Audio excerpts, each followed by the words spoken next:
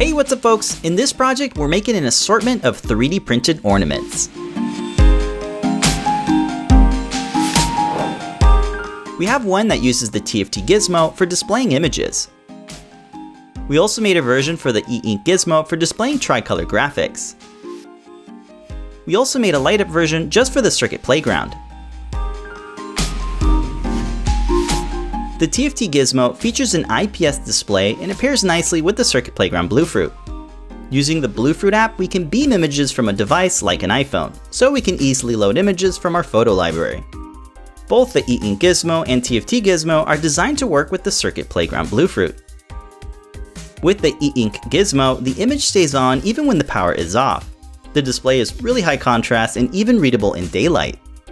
The 3D printed parts snap fit together and secure the PCBs without any glue or screws. It has a modular design so we can easily swap out the front cover. Our Circuit Playground ornament features a built-in slide switch so you can power it on and off. It's got a twist top so you can change it out for different designs. With the Bluefruit app, you can use the control pad to trigger different animations. You can also use the color picker to change the color and brightness of the NeoPixels. We've made a number of different faceplates, but you could also design your own. The latest version of CircuitPython has really nice Bluetooth support. Go to circuitpython.org and check out all of the supported hardware. You can search for the Circuit Playground Bluefruit and download the latest version. Double press the reset button to get into the bootloader mode. You can install CircuitPython by dragging and dropping the UF2 file onto the USB drive. With CircuitPython, you can quickly get your projects up and running.